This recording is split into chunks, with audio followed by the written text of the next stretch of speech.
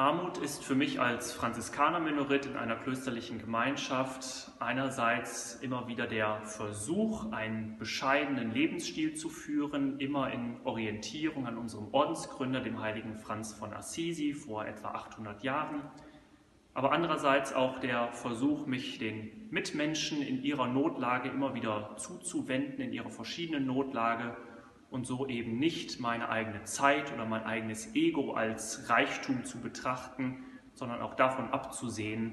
in Zuneigung zu den Mitmenschen.